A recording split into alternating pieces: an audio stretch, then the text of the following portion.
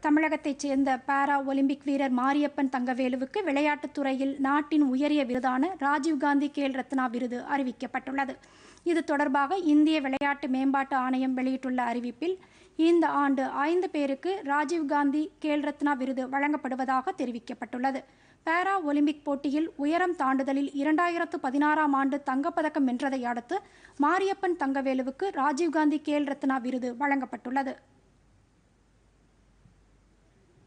Cricket வீரர் Rohit Sharma table tennis வீராங்கனை மோனிகா பத்ரா மல்யுத்த வீராங்கனை விக்னேஷ் போகத் ஹாக்கி பிரிவில் ராணி ஆகியோருக்கு விருதுகள் அறிவிக்கப்பட்டுள்ளன.